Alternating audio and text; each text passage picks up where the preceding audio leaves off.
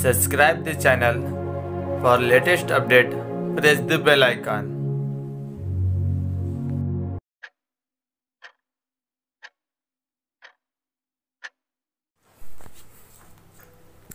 Get ready, start. Ladies and gentlemen, Para, I thank you for giving me this opportunity to preside over the annual day celebrations of this school. I am also happy to tell you that I have heard about this school for some years.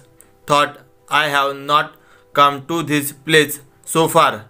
It is a matter of great satisfaction that your school is named in memory of the father of our nation, Mahatma Gandhi.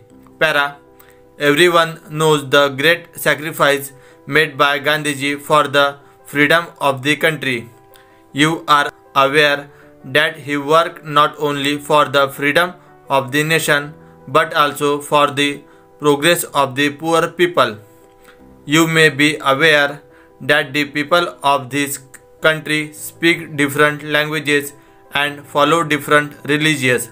But in spite of that, he wanted them to be united so that the country can march forward in all walks of life. You must have studied in the books that union is strength. That is why Mahatma Gandhi desired that the people should be united. On this occasion, I request the teachers and the parents to see that the desire of Gandhiji in this matter is fulfilled at any cost. I also hope that the teachers and the management will take every care to see that the boys are given good education so that they may become useful citizens of this country.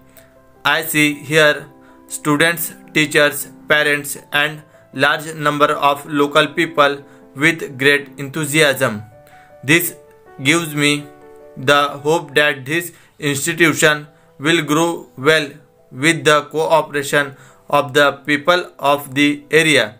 Para, on this occasion, I would like to mention about a very important matter.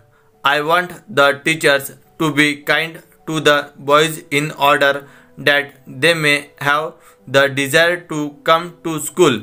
But at the same time, I request the teachers to enforce discipline among the boys.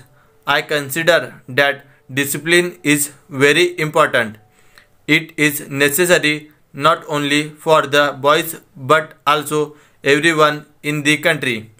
The purpose of my referring this here is discipline should start from the school itself.